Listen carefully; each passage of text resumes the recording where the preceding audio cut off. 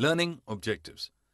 After studying this learning module, students will be able to define and explain different concepts and features of business, elucidate characteristics of different kinds of public enterprises, departmental corporations, statutory organizations, joint ventures, government companies, critically analyze the changing role of public sector, elucidate features of global or multinational organizations, appreciate the merits of joint ventures, define features, merits and demerits of PPP. Introduction Business organizations are of different kinds. Economy is divided into two different sectors, public and private. There are several kinds of business organizations and entities. Some of them are small level and some operate on large scale. Some are privately owned while some are owned by government of India. All these organizations affect our daily economic activities and thus contribute to the Indian economy. Indian economy consists of both private and public sectors, so it becomes the mixed economy. Indian government and mixed economy.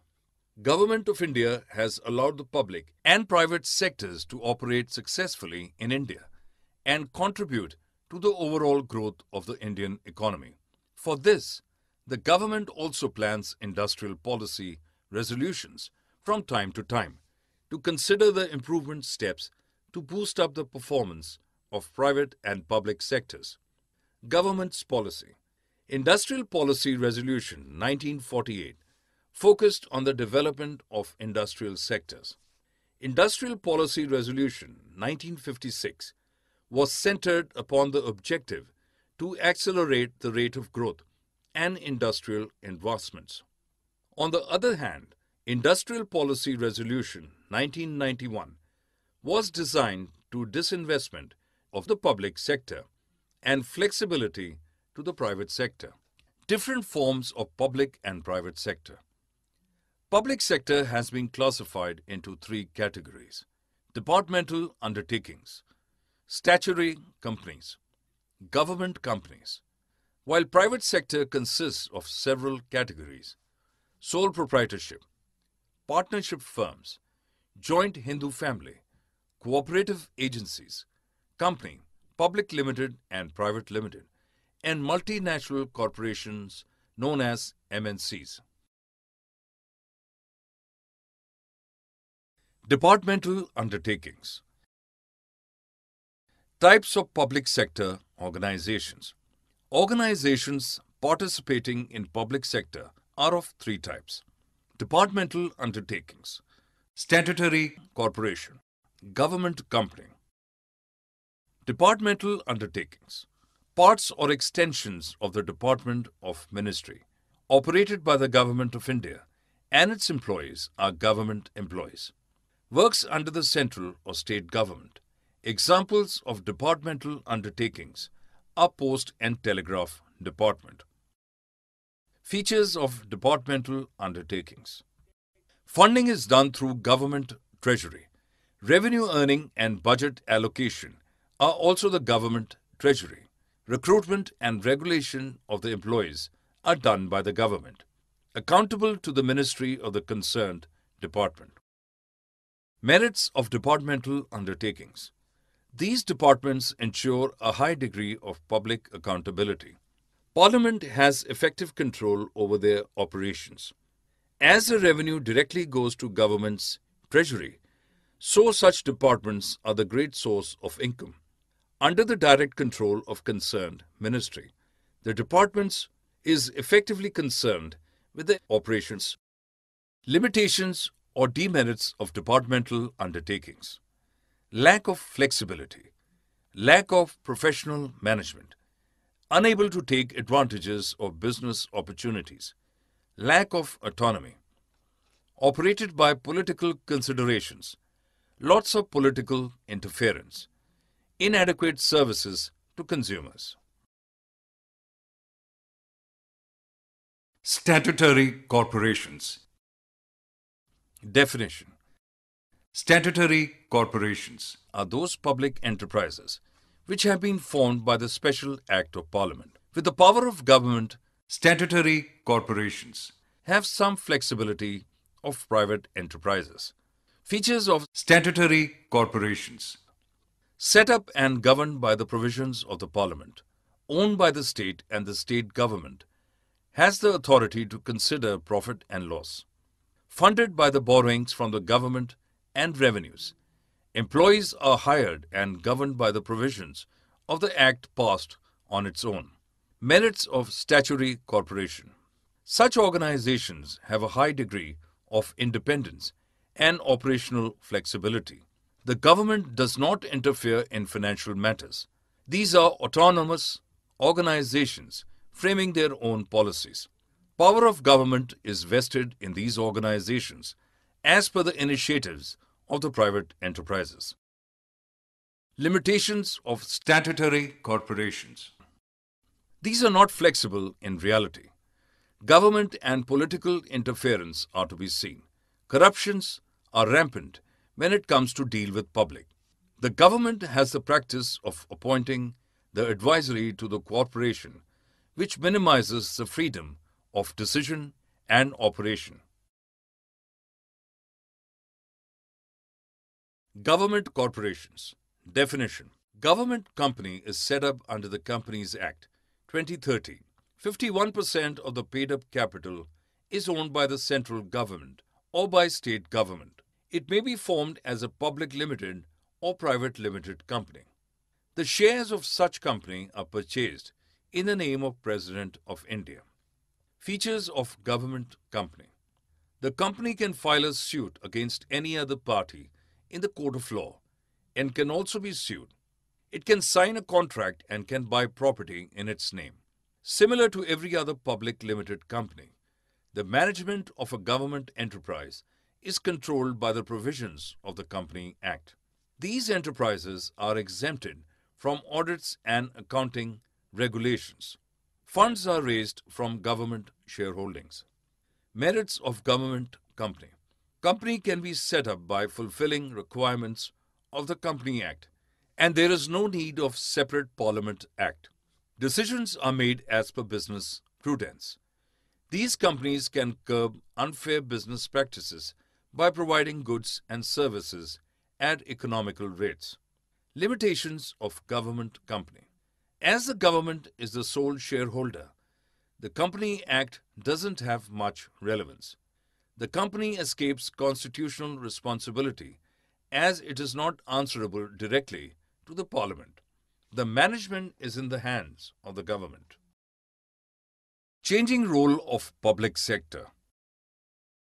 Post independence, public sector enterprises have played an active role in achieving goals of the economy.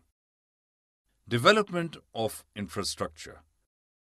Road, sea, rail and air transportation expanded and contributed significantly to industrialization and future growth.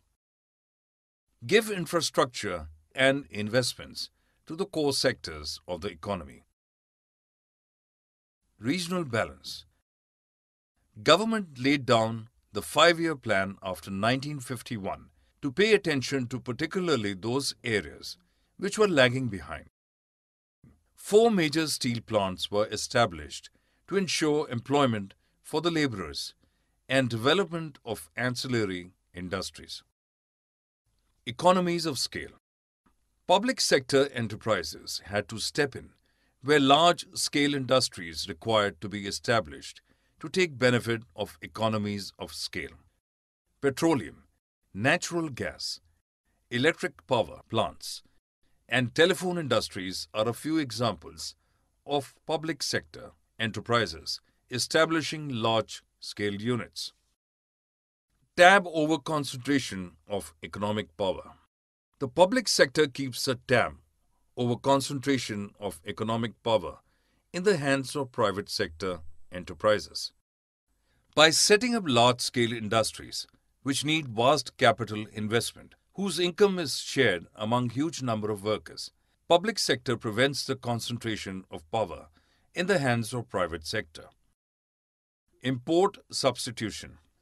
With the involvement of public sector in heavy engineering, India became self-reliant in importing and exporting goods from and to other countries. Government policies towards public sector since 1991. Revive and restructure potential PSUs, close public sector enterprises, which cannot be restructured or revived. Government equity in all non-strategic public enterprise were brought down to 26%. Complete protection of the interests of workers. Global corporations. Definition. Global enterprises, also known as multinational corporations, MNCs, are gigantic corporations which have their presence in several countries. They are big industrial organizations which spread their business functions through a network of their branches in various nations. Features of global enterprises Global enterprises have huge financial resources and they are able to raise their funds from different sources. Due to their financial strength, they can survive under every circumstances. They enter into collaborations with Indian corporations based on production of goods, sale of technology, use of brand names for selling final products, etc. These companies use superior technologies in the production of goods. They have highly sophisticated R&D and quality control departments. They use innovative, more effective and aggressive marketing strategies to increase their sales. They exercise control over all their branches through their headquarters. Their business functions extend beyond national boundaries. Because of their giant size, they hold a dominant position in the market. Joint ventures. A joint venture is the pooling of expertise and resources between two or more businesses for achieving a specific business goal. The rewards and risks of the business are thus also shared. The primary reasons for joint ventures are operation expansion, development of new goods, and entering into new markets. Types of joint ventures. There are usually two types of joint ventures contractual and equity based. In a contractual joint venture, a new jointly owned business entity is not formed and there is only a business contract or agreement to work together. Parties work with common intentions. Every involved party brings some resources and inputs. Each party have some control over the business. On the other hand, in an equity-based joint venture, a separate business entity is formed, which is owned jointly by two or more parties. The chief operative factor in an equity-based joint venture is joint ownership by two or more parties. There is a shared ownership, management, and responsibilities on the parties involved. Examples of joint ventures AVI Oil India Private Limited, Green Gas Limited, Delhi Aviation Fuel Facility Private Limited. Benefits of joint ventures Businesses can gain huge profits through joint ventures. Teaming up or joining hands with other businesses enhances the existing expertise and resources helping joint venture company to grow more quickly and efficiently. By entering into a joint venture with a partner from some other country, a business opens up a huge market. Technology is the major reason for businesses to enter into joint ventures. Joint ventures allow businesses to come up with some new innovations, technologies, and business ideas. When international organizations enter in joint venture with Indian companies, they benefit hugely due to low production cost. By entering into joint ventures, two parties benefit from each other's goodwill. Public-private partnership definition. The public-private partnership PPP model assigns obligations, tasks, and risks among the private and public partners in an efficient way. Public partners in PPP model refers to government organizations like government departments, ministries, state-owned enterprises, etc. The private partners may involve international or local enterprises with financial and technical expertise. PPP also involve NGOs and community-based corporations who are stakeholders involved in the project. Therefore, PPP is the relationship between private and public entities in the milieu of infrastructure and other services. Features of PPP Agreement with a private organization to design and create public facility. Facility is financed by the public sector organization. Key force is the allocation of design and construction risk. Merits of PPP Transfer of plan and construction menace. Potential to fast track project. Demerits of PPP Issues may arise between parties on environmental considerations. Does not fascinate private finance easily. Summary Let us summarize what we have learned in this module. Economy is divided into two different sectors public and private. There are several kinds of business organizations and entities. Some of them are small level and some operate on large scale. Some are privately owned while some are owned by government of India. Indian economy consists of both private and public sectors, so it becomes the mixed economy. Organizations participating in public sector are of three types: departmental undertakings, statutory corporation, and government company. Departmental undertakings are parts or extensions of the Department of Ministry operated by the Government of India. Statutory corporations are those public enterprises which have been formed by the Special Act of Parliament. With the power of government, statutory corporations have some flexibility over private enterprises. Government company is set up under the Companies Act 2013. 51% of the paid up capital is owned by the central government or by state government. Post independence public sector enterprises have played an active role in achieving goals of the economy. Global enterprises, also known as multinational corporations, MNCs, are gigantic corporations which have their presence in several countries. A joint venture is the pooling of expertise and resources between two or more businesses for achieving a specific business goal. The rewards and risk of the business are thus also shared. The primary reason for joint ventures are operation expansion, development of new goods, and entering into new markets. There are two types of joint ventures, namely contractual joint venture and equity based joint venture. The public private partnership models assign obligations, task, and risk among the private and public partners in an efficient way.